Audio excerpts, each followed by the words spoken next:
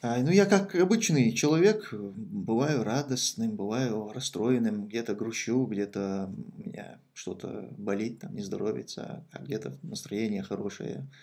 В общем, это все мне присуще. При этом депрессии, я вообще в нее как бы не, не верю.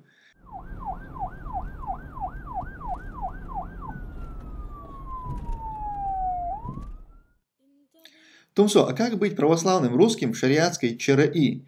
Как они будут жить и сохранять, сохраняться ли церковь э, в Грозном?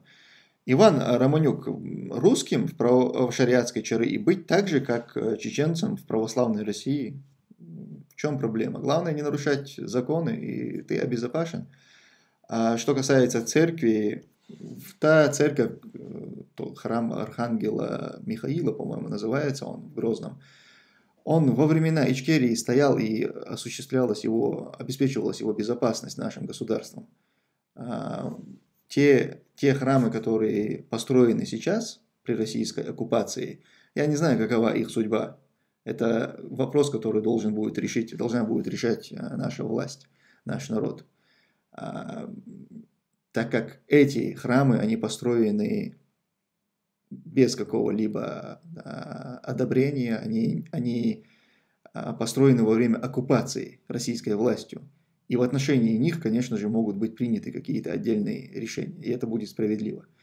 Но что касается тех храмов, которые были на нашей территории во времена Ичкерии, которые а, защищались, они, конечно, будут существовать, и также будет обеспечена их безопасность и безопасность той общины, будь она христианская или иная, которая живет на территории нашего государства.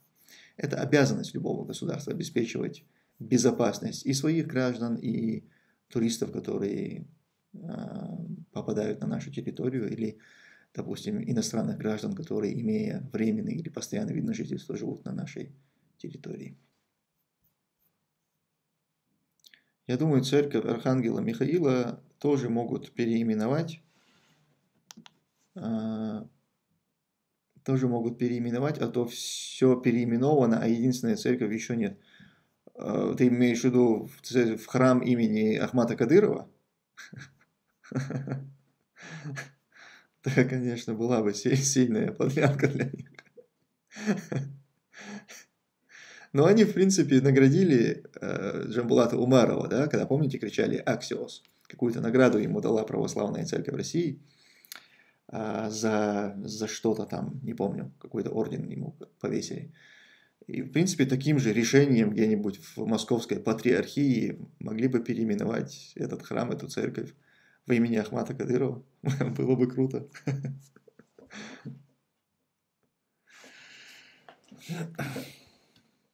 Саляму алейкум. Если я не воин, не богослов, не историк, не участник и не свидетель джихада, Имею ли я право публично давать оценку шахидам, толковать Коран, историю? Это вопрос. Дал Иман Лойл. Ва алейкум ассалям. В зависимости от того, какой твой, наверное, уровень знаний, твой багаж, ничто из вот того, что ты перечислил, не определяется таким образом, типа я не был участником. Ну, ты не был участником Второй мировой войны, допустим. Можешь ли ты анализировать, делать какие-то выводы? Конечно, можешь и должен ты это делать. По поводу ученого, например, я так понял, имеется в виду а, ученый ислама, наверное, да? А если ты не ученый ислама, можешь ли ты говорить о, о религии? Можешь в той степени, в, ко в которой ты разбираешься, но не можешь говорить о том, о чем ты не знаешь. Лучше сказать, что ты не знаешь, и оставить эту тему. Ну, ну не так это определяется, понимаете? Вот тебя спросят, допустим, сколько раз в день нужно совершать намаз? Это чисто религиозный вопрос. И никакой больше. Ни политический, ни социальный. Именно религиозный. Но как ты на него не ответишь? Ты же не можешь сказать, я не ученый, брат, извини, я не знаю. Ты не можешь так ответить. Ты ведь знаешь, сколько обязательных молитв а, на тебя возложено Всевышним в день. Поэтому ты ответишь и скажешь, что это пять обязательных молитв.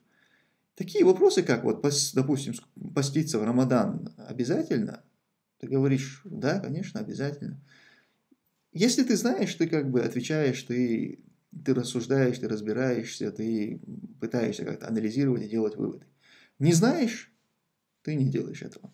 А что касается конкретно а, оценок там каким-то личностям, это опять-таки вопрос, видишь, например, кто-то, кто не любит кого-то, да, кого ты называешь шахидом, скажем, он даст ему плохую оценку, вне зависимости от того, что ты считаешь его шахидом, там, и ты доволен человеком.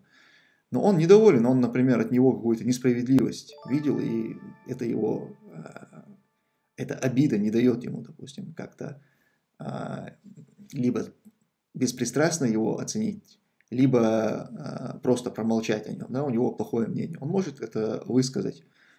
Можем ли мы его за это как-то порицать, сказать, что он не имеет на это права? Ну, конечно, нет. Он может это сделать. Он получил какую-то несправедливость от человека. Он об этом говорит.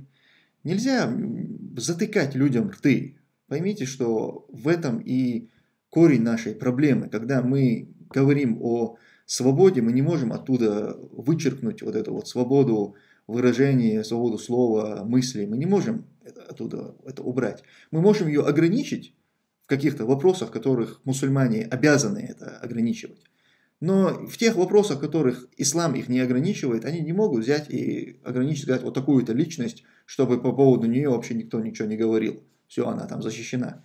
Но нет, конечно, ты не можешь так людей а, ограничить. Ну, что, бывало ли у тебя так, что ты находился в депрессии или же был расстроен, расстроен, а, то, что ты не сможешь больше вернуться в свой, свой родной край. А, ну, я как обычный человек, бываю радостным, бываю расстроенным, где-то грущу, где-то у меня что-то болит, там, не здоровится, а где-то настроение хорошее.